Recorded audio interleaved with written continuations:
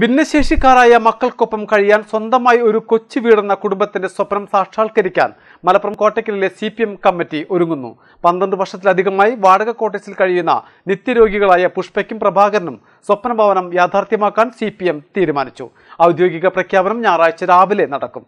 Malabar Times news impact Kottakkal നായാടിപ്പാറയിലെ വാടക ക്വാർട്ടേഴ്സിൽ കഴിയുന്ന നാലംഗ കുടുംബത്തിന്റെ ദുരിതവാർത്ത കഴിഞ്ഞ ഇരുപത്തി ഒന്നിനാണ് മലബാർ ടൈംസ് പ്രേക്ഷകരിലേക്ക് എത്തിച്ചത്. ഇതോടെയാണ് കുടുംബത്തിനുള്ള സ്വപ്നവീട് നിർമ്മിക്കാൻ C P M local committee രംഗത്തെത്തിയത്.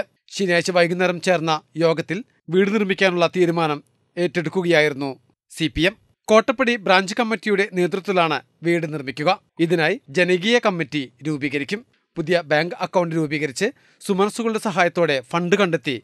കുടുംബത്തിന് വീട് നിർമ്മിക്കാനാണ് കമ്മിറ്റിയുടെ തീരുമാനം. ഔദ്യോഗിക പ്രഖ്യാപനം ഞായറാഴ്ച രാവിലെ പത്തരയ്ക്ക്. പുഷ്പയും പ്രഭാകരനും മക്കളായ മിഥുനും പ്രവീണും താമസിക്കുന്ന കോട്ടേഷിൽ വെച്ച് ഉണ്ടാകും. മനോവികാസ് സ്കൂളിലെ ഭിന്നശേഷി വിദ്യാർത്ഥികളാണ് മിഥുനും പ്രവീണും. പ്രായത്തിനൊപ്പം മനസ്സും ശരീരവും എത്താത്ത സഹോദരങ്ങളാണ് ഇരുവരും. അപകടത്തിൽ പരിക്കേറ്റ പ്രവീണിന്റെ വലതുകാൽ മുട്ടിനു താഴെ മുറിച്ചു മാറ്റിയിരുന്നു. വീട്ടുകാരുടെ സഹായത്തോടു കൂടിയാണ് പ്രവീൺ നടക്കുന്നത്. വാടകമുറിയുടെ വാടക പോലും കൊടുക്കാൻ കഴിയാതെയാണ് കുടുംബം താമസിക്കുന്നത്. അമ്പലത്തിൽ താൽക്കാലിക ജീവനക്കാരിയാണ് പുഷ്പ. നിത്യരോഗിയായ പ്രഭാകരനാകട്ടെ ഗുഡ്സ് ഓട്ടോറിക്ഷ ഡ്രൈവറുമാണ്. എത്രയും പെട്ടെന്ന് സ്വപ്നഭവനം യാഥാർത്ഥ്യമാകുമെന്ന പ്രതീക്ഷയിലാണ് കുടുംബം. മലബാർ ടൈംസ് കോട്ടയ്ക്കൽ.